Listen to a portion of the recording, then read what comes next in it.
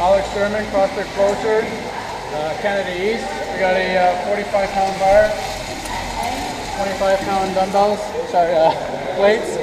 I wish they were dumbbells. And we're starting off here at zero. We got five feet, 10 feet, 15,